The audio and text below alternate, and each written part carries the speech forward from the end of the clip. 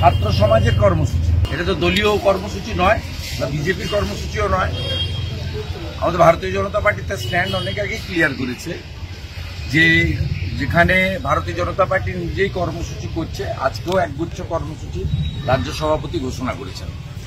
আর যেখানে ছাত্র সমাজ বা প্রতিবাদী জনতা, সচেতন নাগরিকরা পতাকা ছাড়া কর্মসূচি করবে, সেখানে ভারতীয় জনতা পার্টির সভ্য সমর্থক, ভোটার, নেতৃত্ব, কারও যাওয়ার ক্ষেত্রে বিজেপির কোনো বাধা নেই।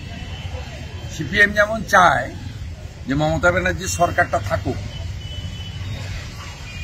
তেমনি ভারতীয় জনতা পার্টির লক্ষ্য এবং উদ্দেশ্য হচ্ছে যে আমাদের ডাক্তারি বোন, যার মর্মান্তিক বেদনাদায়ক সরকারি ধর্ষণ এবং মৃত্যু ঘটানো হয়েছে, তার অভিযুক্তরা চরমতম শাস্তি পাক।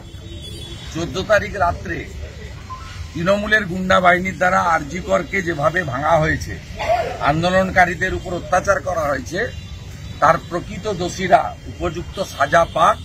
সর্বোপরি দফা এক, দাবি এক, মুখ্যমন্ত্রীর পদত্যাগ। এটা ভারতীয় জনতা পার্টি একেবারে অন্তর থেকে সমর্থন করে। নবান্ন অভিযান, অরাজনৈতিক কর্মসূচি, তাতে কে থাকবে কে থাকবে না তার ব্যক্তিগত ব্যাপার। আপনাকে তার উত্তর আমি দেব না এবং এ ব্যাপারে কারোর পরামর্শ বা জ্ঞানও শুনব না।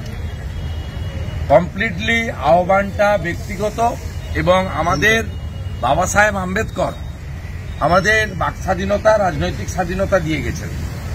অতএব আপনি কি করবেন, আপনি যেমন নিজে ঠিক করবেন, অন্যরাও কি করবেন তাদের উপরে ছেড়ে দেয় ভালো।